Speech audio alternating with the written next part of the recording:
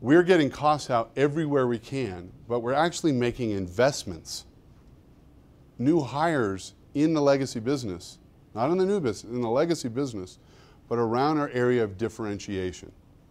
This is not, if all this is, is, you know, if all I can say to Doug and Paul is, hey, just for the next 20 years, Doug, we're just going to, right? Who wants to do that? Doug's out of here, right? But we're going to focus on being the best in the world at something. And if you aren't the best in the world, you better get your costs down as low as possible because commodity news is being produced by other people for pennies.